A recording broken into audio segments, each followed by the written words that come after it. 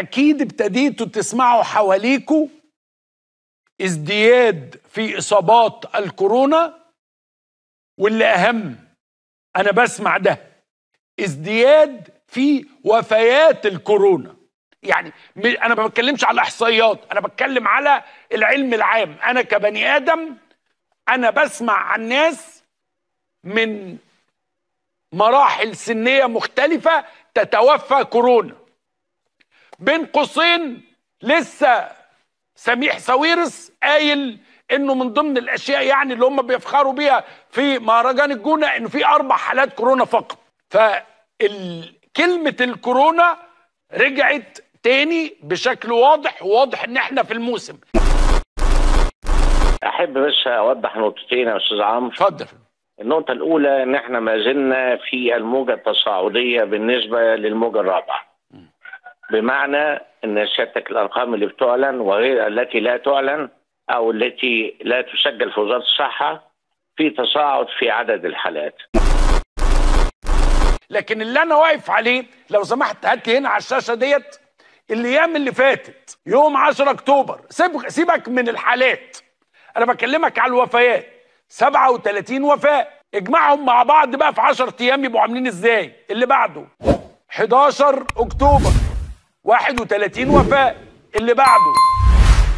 12 اكتوبر 39 وفاة أرجو إن إحنا نقلب بس الحاجات. أيوه 13 اكتوبر 41 وفاة 14 اكتوبر 40 وفاة 15 اكتوبر 16 اكتوبر 42 وفاة 17 أكتوبر 44 وفاة 18 أكتوبر 45 وفاة 19 أكتوبر 43 وفاة 20 أكتوبر 47 وفاة 21 أكتوبر اللي هو امبارح 46 وفاة ولسه النهارده. اجمع الوفيات في 10 أيام. إحنا بنتكلم في متوسط 400 400 500 طبعا هتقول لي إحنا فين ومش مش فين. صحيح. بس إحنا كنا من شهر الوفيات عندنا 15 16 18 ما أنا بقول لك النسبة. ما هي بالنسبة. يعني مثلا إحنا ما نقارنش الحمد لله ويعني والواحد يبوس ايده وشه وظهر يعني مثلا روسيا من ثلاث أيام كان فيها في يوم واحد ألف وفاة. ألف. يوم واحد ألف وفاة.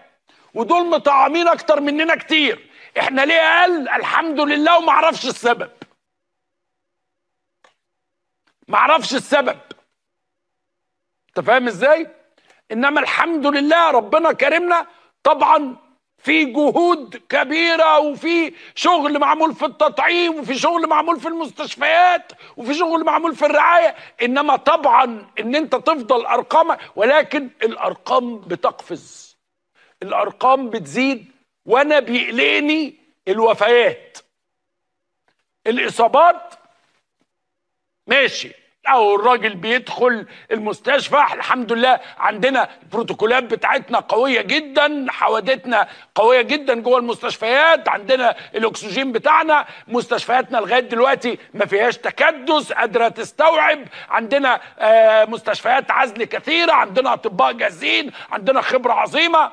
ولكن إحنا في المرحلة الرابعة من الكورونا. أرجوكم يا جماعة أتوسل إليكم. الأيام الجاية أيام صعبة جدا.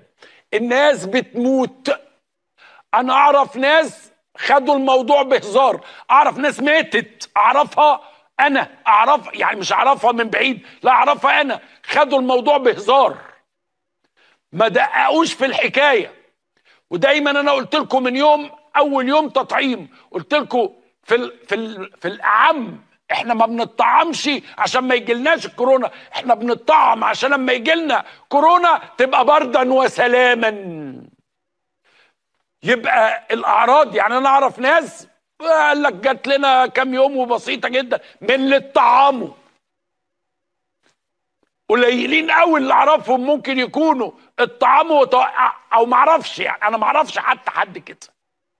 ولذلك التطعيم هام جدا. محمد عوض تاج الدين مستشار رئيس الجمهورية لشؤون الصحة أهلا بيك يا فندم.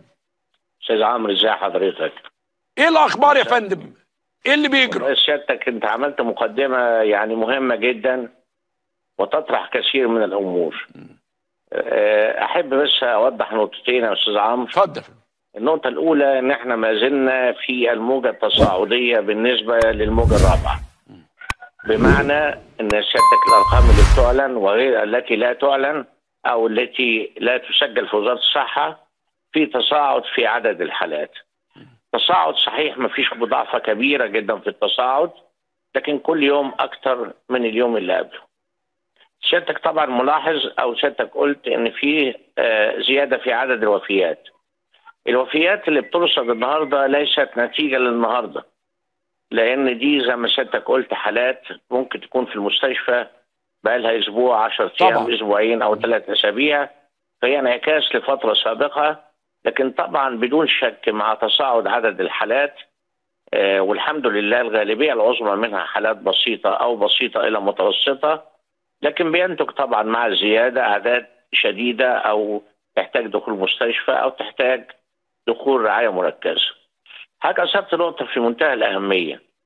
ال- المرض ده ممكن جدا لأسباب كثيرة جدا إحنا عارفينها علميا وفنيا. الحالة تبدأ بسيطة أيوه. لكن ممكن جدا في خلال يومين ثلاثة فجأة بالظبط يحصل زيادة شديدة في شدة الحالة.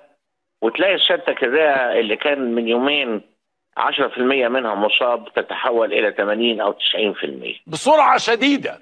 جدا. طبعا إيه السبب؟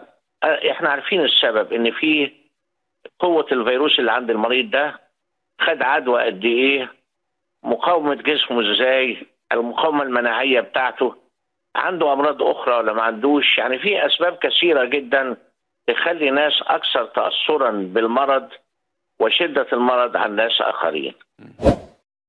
اللي بيروح المدارس ويرجعوا لنا دول ما, ما, ما بيبانش عليهم. ع- يعني أنا أعرف إزاي الطفل عنده. الطفل عادي يعني ما ما هو بيروح المدرسة مدرسة فيها عشرات الطلبة ويرجع. أيوه. إيه، هل أعراضه بتبقى باينة؟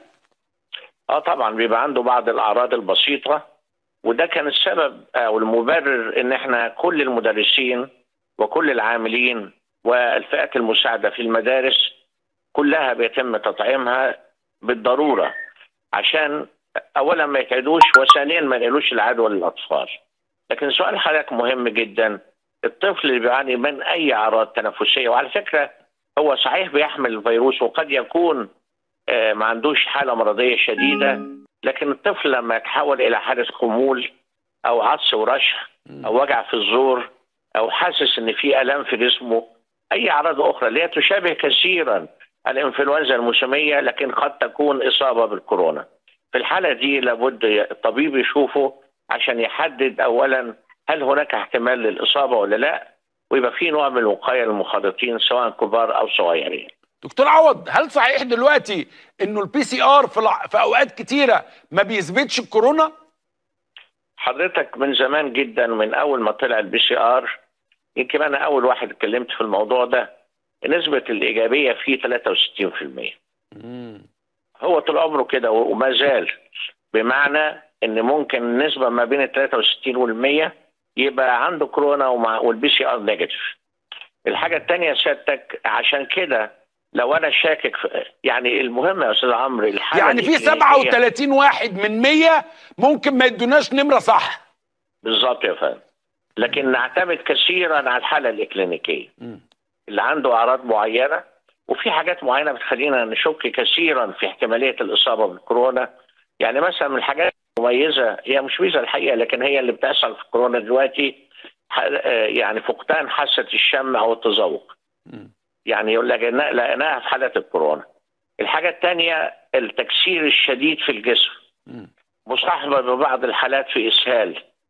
كل دي حاجات بتحطينا بتخلينا نحط الاشتباه الإكلينيكي إن الحالة دي ممكن تبقى كورونا. دكتور عوض العيان هيقول لي أنا رحت عملت ال PCR وطلع negative. فاقول له ولو وبعدين الحاجة الثانية ولازم نعزله ونديله العلاج ونتابعه. الحاجة الثانية أنا ممكن أعيد له ال PCR تاني بعد يومين ثلاثة قد يكون أول مرة طلع سلبي والمرة الثانية يطلع إيجابي. وده بيعتمد على آه، نسبة الفيروسات اللي عنده وهل وجود الأجسام اللي هي تطلع ال PCR positive عنده تكونت أم لا. دكتور عوض بنلاحظ الإصابات العائلية. يعني أنا دلوقتي أما أما أكلم حد يقول لي أنا ومراتي والعيال. أنا وأنا والشقه اللي جنبينا. يعني دلوقتي إحنا يمكن كنا السنة اللي فاتت بنشوف واحد أو اتنين يجي لهم. دلوقتي بقينا هل ده ليه علاقة بدلتا؟ هل ده ليه علاقة بسرعة انتشار الفيروس اللي موجود دلوقتي؟ قد يكون هذا وقد يكون أيضا لأن واحد أو اثنين من العيلة أو طفل من العيلة واحد بس أصيب ولأن الأطفال كثير منهم بيكون عندهم العدوى وما عندهمش المرض يقدر يسيب العيلة كلها. ودايما نقول كده يعني الواحد راح حتة راح حضر فرح أو حضر اجتماع أو قابل واحد عنده كورونا شاب أو طفل صغير وبعدين رجع البيت بيعدي كل البيت الأهل الأب والأم والإخوات والجد والجدة وفعلا يعني الإصابات العائلية الموجة الثالثة والرابعة نسبة الإصابات العائلية عالية جدا في العائلات. طب إمتى ألحق؟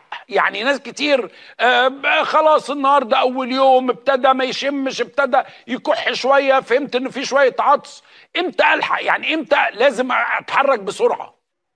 إحنا سيادتك في وباء كورونا أي واحد عنده أعراض سواء هو يعتقد إنها برد عادي أو قد تكون فعلا إنفلونزا موسمية عادية لكن بيعاني من أعراض في الجهاز التنفسي العلوي أو السفلي أنا اعتبره كورونا لغاية ما يثبت عكس هذا. وبعدين في الحالة دي لازم يستشير الطبيب المعالج له. حالات كتير قوي بتتعالج في البيوت وبيجيب نتيجة كويسة. لكن في الحالة دي أنا بقول له إيه الأعراض اللي عندك؟ تشتكي من إيه؟ الحرارة أخبارها إيه؟ نسبة الأكسجين؟ عندك أمراض أخرى ولا لأ؟ ونديله علاج. إنما إيه العرض اللي لازم ما نسكتش عليه؟ حاجتين يا فندم. صعوبة التنفس ارتفاع شديد في درجة الحرارة. شديد يعني إيه يا فندم؟ 38 أكتر من 38 آه. آه. أو اللي إحنا بنقوله للناس خصوصا كبار السن واللي عندهم أمراض مزمنة هيجيب الجهاز الصغير ده اللي بتاع الأكسجين. الأكسجين في الدم. م. لو حصل نقص أو drop في الأكسجين في الحالة دي لازم فورا يروح المستشفى. ال drop عن كام؟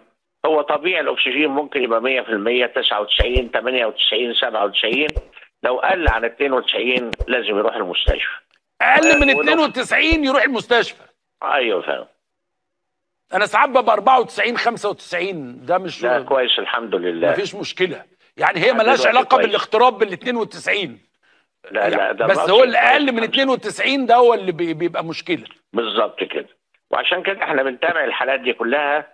أول ما يحصل أي انخفاض في نسبة الأكسجين أو ارتفاع في الحرارة أو أعراض شديدة صداع شديد أو آه صعوبة التنفس. كل دي أعراض قد توحي أو تؤكد إن في مشكلة. الوقاية ليها دور كبير جدا وبدون شك أيضا التطعيم زي ما حضرتك قلت بالظبط بيقي من المضاعفات الخطيرة أو الشديدة لهذا المرض. لا يمنع لكن يقلل بشدة جدا. دكتور عوض يعني أكيد انت لغايه دلوقتي لسه بتقابل ناس بتقاوم فكره التطعيم تقول لهم إيه حضرتك أنا بس بتسال هذا السؤال كثيرا وباء عالمي الدولة وفرت هذه الطعوم والله يا أستاذ عمرو دي ملحمه لتوفير هذه الطعوم طبعا ملحمه طبعا. سياسيه ملحمه بها سترها شخصيا الحكومة والدولة دفعت لحد الآن مليارات من الجنيهات حوالي 300 أو 400 مليون دولار عشان نشتري هذه اللقاحات. ووفرنا اللقاحات من مصادر متعددة رغم شحة اللقاحات العالمية أو عدم وفرتها. لغاية النهارده يا أستاذ عمرو أفريقيا لم تحصل أو لم يحصل من سكانها على التطعيم إلا حوالي 4% منهم نسبة كبيرة في مصر. لأن وعلى الرغم من إيه؟ رغم إن الفلوس متوفرة في أفريقيا لكن الحمد لله ربنا كرمنا وقدرنا نحصل على هذا الكم من اللقاحات آه عشان نحمي الإنسان نحميه انه إنه يجيله إصابات شديدة ونحميه إنه يعدي ناس ثانيين بإصابات شديدة. فالإقبال على اللقاحات هنا ثم القرارات الأخيرة للجنه العليا والقرارات المسبقة بتاعة توجيهات السيد الرئيس بتطعيم كل الفئات اللي موجودة في التعليم الجامعي وما قبل الجامعي كانت خطوات مهمة جدا جدا لزيادة الحصول على اللقاح عشان نحمي نحميهم ونحمي منهم وعليهم يعني. سؤالي الأخير حضرتك تعلم طبعا النهارده فايزر تقدمت للجهات الأمريكية إنها عايزة تطعم الأطفال من 5 ل 12 هل أيوه. يعني يجوز تطعيم الأطفال من 5 ل 12 آه، لغاية قريب سيادتك يعني آه، كمية المعلومات اللي عند حضرتك على موضوع الكورونا والتطعيمات الحمد لله كبيرة جدا وناقشتها سيادتك كثيرا. لغاية قريب ما كانش تطعيم أقل من 18 سنة مسموح به ولا تطعيم الحوامل ولا المرضعات ولا المتوقعين الحمل. النهارده في لقاحات اجريت تجارب كلينيكية سريريه على عدة آلاف من السيدات الحوامل وخلاص بقى مسموح إن السيدات الحوامل أو متوقعات الحمل أو المرضعات ممكن ياخدوا التطعيم. ونفس الشيء بالنسبة لتطعيم الإنفلونزا الموسمية للحوامل. في الحالتين بيقلل إصابتهم بالأعراض الشديدة أو الخطورة الخطيرة. وفي نفس الوقت بيحمي الطفل اللي هيتولد بعد كده في الشهور الأولى من الإصابة بمضاعفات هذه الأمراض. بالنسبة للموضوع تحت 18 سنة انت سيادتك هو الطعوم عشان يتعمل عليها تجارب كلينيكية سريرية. يتأكد الواحد فيها كلينيكيا وعلميا وفنيا. هل هذا اللقاح آمن لهذا السن ولا لا؟ ما كانش أجيز قبل كده. لكن حاليا أجيز الحقيقة اللي أجيز لحد دلوقتي في السن اللي أقل من 18 سنة هو تطعيم فايزر بس. أيوه من 5 ل 12 هم أنا وا... أنا واقف عند السن الصغير 16 يعني إنه طفل إنه طفل عنده خمس سنين أو ست سنين ممكن يطعم هم الأول اجازوا التطعيم من 16 ل 18 سنة ودلوقتي قدموا عشان ياخدوا من 5 ل 12 سنة. لكن إحنا هننتظر لغاية ما توافق الاف دي اي ونشوف نتأكد من التجارب الإكلينيكية والسريرية. من أمان هذا اللقاح. وخصوصا إن مفيش لقاحات أخرى أجيزت في هذه الأعمار السنية. إذا أجيزت فإن شاء الله يبقى في خطتنا القادمة هندرس هذه التطعيمات. أكيد يا فندم بشكرك شكرا جزيلا على علم شكرا حضرتك وبشكرك يعني وإن شاء الله الناس كلها تاخد التطعيم اللي متوفر واللي الدولة موفراه بكثرة وبدون مشاكل وإن شاء الله الناس كلها تقدر تأمن نفسها شكرا ليك يا فندم شكرا يا أستاذ. شكرا